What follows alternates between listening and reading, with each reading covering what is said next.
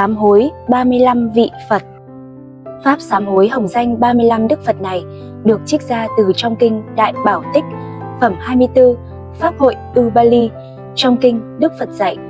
Nếu tất cả chúng sinh hoặc phạm tội ngũ nghịch hay thập ác đến muôn kiếp không thể sám hối, chỉ xưng danh hiệu 35 vị Phật này và lễ bái thì bao nhiêu tội chướng đều tiêu trừ.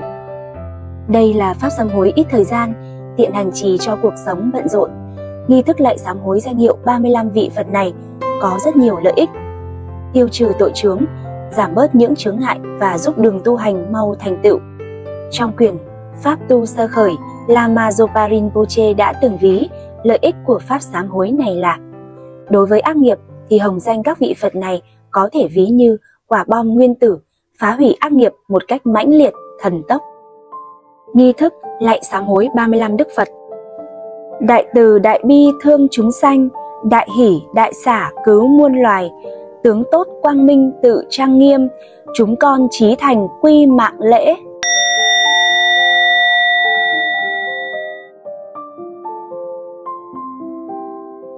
Con đệ tử quy y Phật, quy y Pháp, quy y Tăng.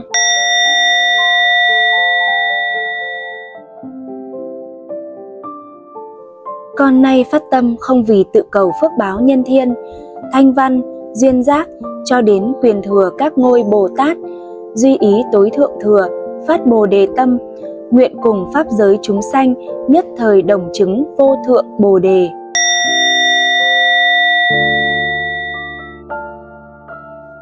Nam mô Quy y mười phương tận hư không giới hết thảy chư Phật.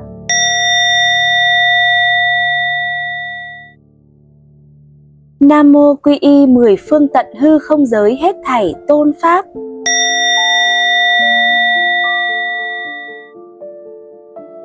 Nam mô Quy y mười phương tận hư không giới hết thảy hiền thánh tăng.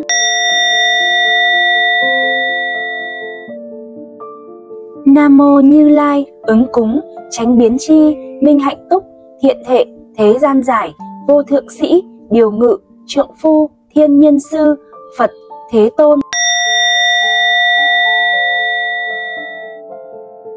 Nhất tâm kính lễ, Nam mô Bổn sư Thích Ca Mâu Ni Phật.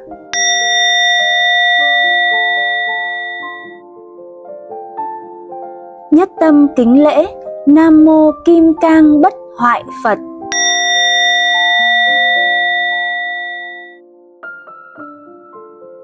Nhất tâm kính lễ, Nam mô Bảo Quang Phật.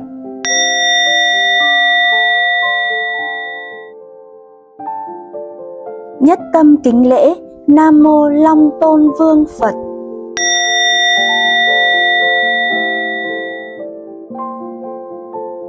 Nhất tâm kính lễ, Nam mô Tinh Tấn Quân Phật.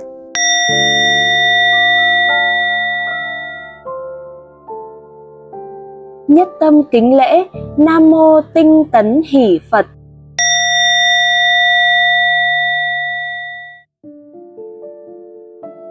Nhất tâm kính lễ, Nam mô Bảo Hỏa Phật.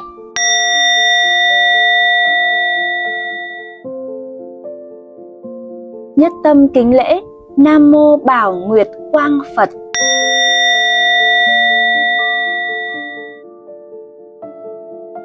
Nhất tâm kính lễ, Nam mô Hiện Vô Ngu Phật.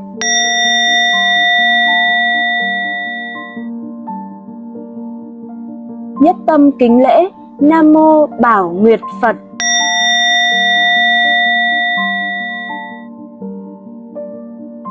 Nhất tâm kính lễ, Nam mô Vô Cấu Phật.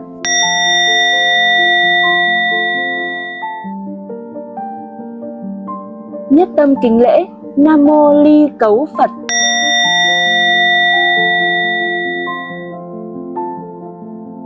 Nhất tâm kính lễ, Nam mô Dũng Thí Phật.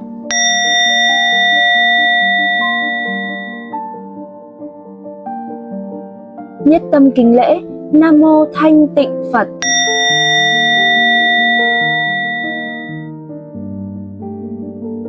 nhất tâm kính lễ, nam mô thanh tịnh thí phật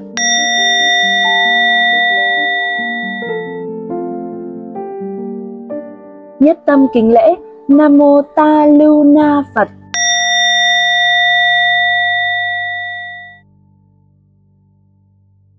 Nhất tâm kính lễ, Nam Mô Thủy Thiên Phật.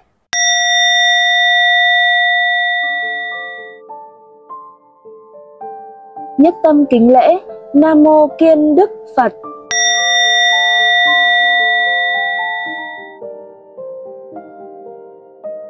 Nhất tâm kính lễ, Nam Mô Chiên Đàn Công Đức Phật.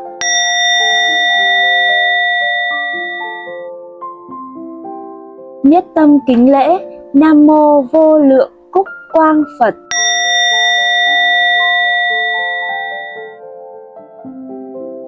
Nhất tâm kính lễ, Nam Mô Quang Đức Phật.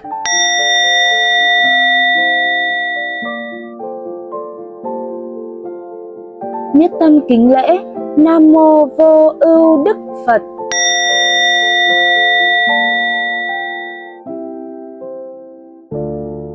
Nhất tâm kính lễ, Nam Mô Na La Diên Phật.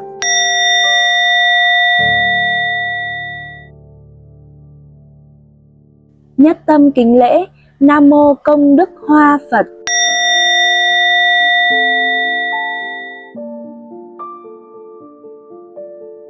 Nhất tâm kính lễ, Nam Mô Liên Hoa Quang Du Hí Thần Thông Phật.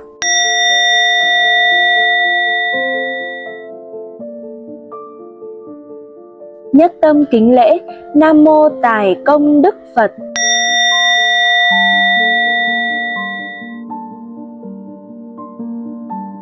Nhất tâm kính lễ, Nam Mô Đức Niệm Phật.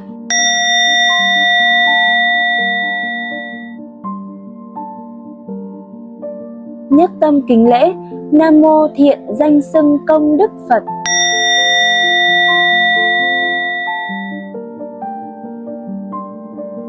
Nhất tâm kính lễ. Nam Mô Hồng Diệm Đế Tràng Vương Phật.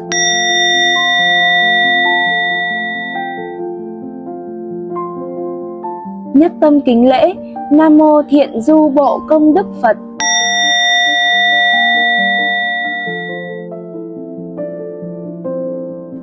Nhất tâm kính lễ, Nam Mô Đấu Chiến Thắng Phật.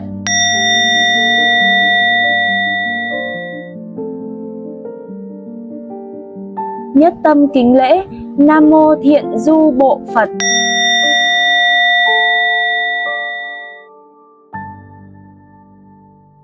Nhất tâm kính lễ, Nam Mô Châu Tráp Trang Nghiêm Công Đức Phật.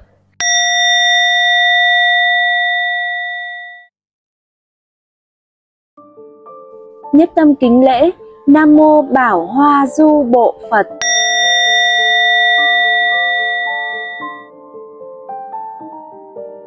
Nhất tâm kính lễ, Nam Mô Bảo Liên Hoa Thiện Trụ Ta La Thọ Vương Phật.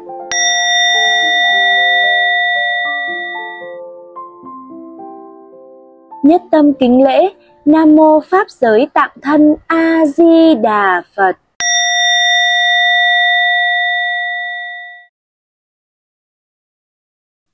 Sám hối. Tất cả thế giới chư Phật Thế Tôn hy hữu như vậy, thường tại ở đời, chư Thế Tôn ấy nên thương nhớ con, hoặc con ở đời này, hoặc con ở đời trước, từ đời vô thỉ, sinh tử đến nay đã tạo những tội. Hoặc tự mình làm, hoặc bảo người làm, thấy làm tùy hỷ, hoặc vật của tháp, hoặc vật của tăng, vật tứ phương tăng, hoặc tự mình lấy, hoặc bảo người lấy, thấy lấy tùy hỷ, năm tội vô gián, hoặc tự mình làm, hoặc bảo người làm, thấy làm tùy hỷ. Những tội đã làm, hoặc có che giấu, đáng đọa địa ngục, ngạ quỷ, súc sanh, các ác đạo khác, biên địa hạ tiện và kẻ ác kiến, bao nhiêu những tội đã làm như vậy, nay đều sám hối.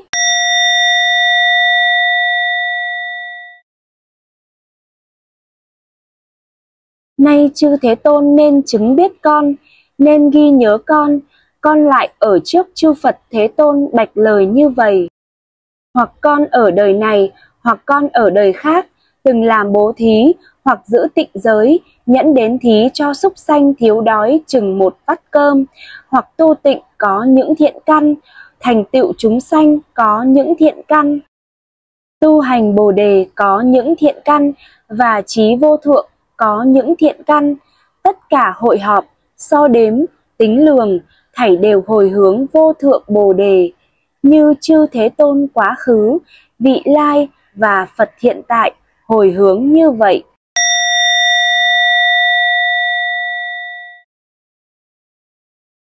Các tội đều sám hối, các phước đều tùy hỷ, và công đức chư Phật, nguyện thành trí vô thượng. Khứ lai hiện tại Phật, tối thắng trong chúng sanh, biển vô lượng công đức, nay con quy mạng lễ.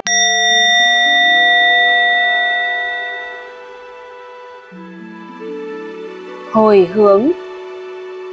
Lạy Phật sám hối công đức thù thắng hạnh, vô biên thắng phước giai hồi hướng, phổ nguyện pháp giới chư chúng sanh, tốc vãng vô lượng quang Phật sát, nguyện tiêu tam chướng trừ phiền não, nguyện đắc trí huệ chân minh liễu, phổ nguyện tội chướng tất tiêu trừ, thế thế thường hành Bồ Tát đạo.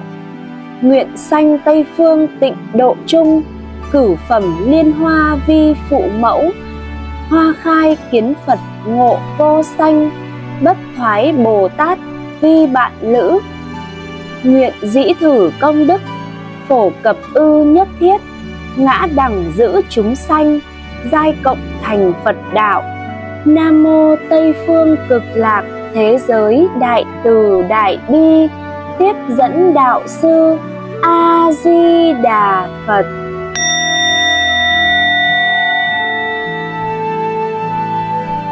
Tam tự quy y Tự quy y Phật đương nguyện chúng sanh thể giải đại đạo vô thượng tâm. Tự quy y pháp đương nguyện chúng sanh, thâm nhập kinh tạng, trí huệ như hải.